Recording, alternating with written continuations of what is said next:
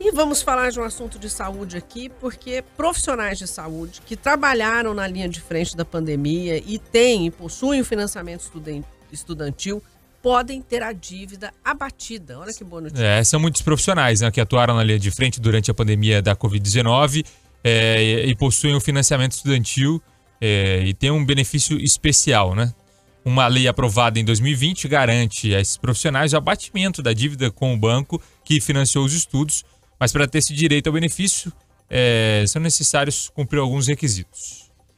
E para falar mais sobre esse assunto, nós estamos recebendo aqui no estúdio a advogada Nilza Sacomã, ela que é especialista aí na área. Bom dia, doutora Nilza, um prazer em recebê-la novamente. Bom dia, obrigada pelo convite. É, veja, a lei que instituiu o IFES, que é de 2001, lá ela já contemplava a possibilidade de... É, de é, abatimento de 1% do saldo integrado da dívida, mais 50% do valor da parcela mensal para o médico ou para o, o profissional da saúde que fosse beneficiário do financiamento do FIES e se, dispus, é, se dispusesse a trabalhar em regiões ribeirinhas. Uhum. Porque hoje o grande problema que nós temos no SUS é que médicos e profissionais de saúde não querem ir para essas regiões quilombolas, ribeirinhas, e lá há um grande déficit de profissionais de saúde.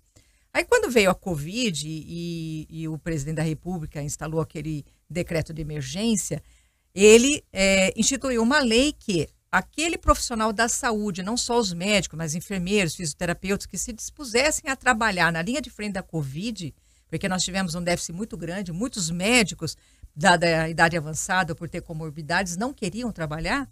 Então, o que ele colocou? Que essas pessoas com seis meses de trabalho efetivo na linha de frente da Covid teriam direito a esse benefício que está na lei em 2001, ou seja, 1% do valor do saldo integrado, saldo devedor integrado, e 50% da parcela mensal. Como ele também é, abonou é, a, as, as dívidas, não abonou, ele suspendeu a cobrança das dívidas do FIES para os profissionais de uma forma geral que estivessem ali.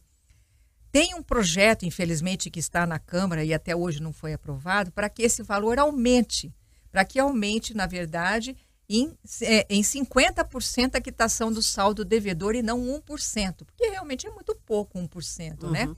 Não foi aprovado, ele está lá tramitando desde 2020, Acredito que agora, novamente com a Covid, esse projeto deverá ocorrer. E o profissional que quiser se beneficiar desse, é, dessa, desses abatimentos, ele deve entrar no FIESMED, né, que é no, no site FIESMED, se inscrever para que ele possa começar a contar os pontos para esse abatimento. É, até para complementar aí, é, de maneira geral, são apenas esses os requisitos para ter esse abatimento? Ele, ele, precisa comprovar que ele está trabalhando há seis meses, ele precisa, é, ele precisa estar adimplente ou ele, deve ter, ele tem que estar inscrito no FIESMED o pedido de suspensão das suas parcelas, desde que essas parcelas, na época em que se instalou a Covid, lá, quando foi decretada a emergência, ele não estivesse é, inadimplente mais de 180 dias. Se ele estivesse inadimplente até 180 dias, ele poderia fazer parte desse benefício. Doutora, Entendeu? isso vale só para quem estava formado ou, por exemplo, quem estava cursando e acabou fazendo estágio, não residência? Importa, também pra, vale? É tanto para o profissional formado da medicina, da fisioterapia, da área da saúde em geral, como para o aluno, uhum. se ele quisesse fazer o estágio. Por quê? Grande foi o número de, de, de carência desse trabalho. Como a Covid, em tese, não acabou e o decreto do presidente da República ele não foi revogado e nem a lei, isso está em vigor ainda. Então, o profissional tem que entrar no FIESMED, fazer o seu cadastro e se propor a trabalhar e comprovar que ele realmente e efetivamente trabalhou por seis meses, mínimo de seis meses, né? Uhum. Ele fez essa prova, ele consegue a quitação de 1% do saldo devedor, 50% das parcelas vencidas e vincendas desde que ele comprove que está trabalhando. E não é só a Covid, Raquel.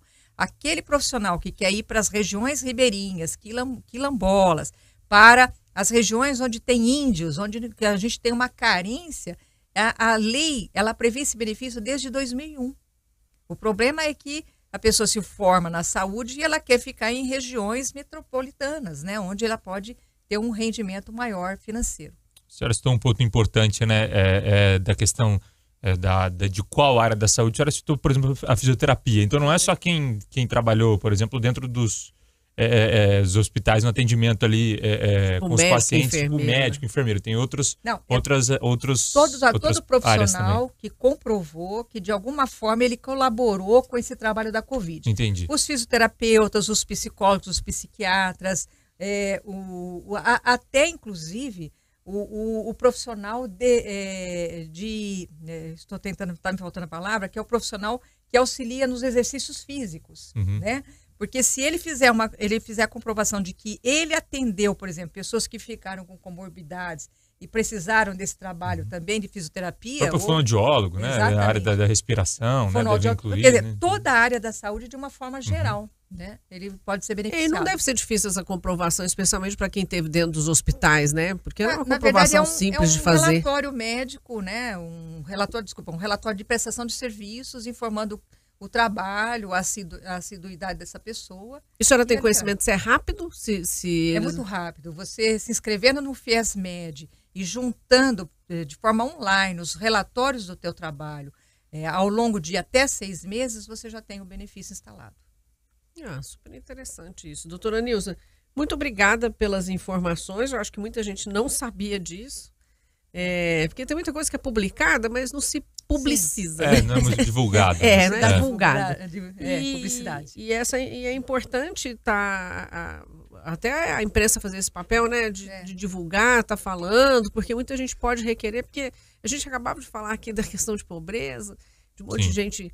E não é só quem está na extrema pobreza, tem muita gente também está em dificuldade, sim, precisa sim. ali organizar o orçamento, então acredito que vem em boa hora. Exatamente. Obrigada. Nós conversamos agradeço. com a doutora Obrigado, Nilza Sacomã, que é especialista em direito de saúde. Panils Londrina, 10 e 44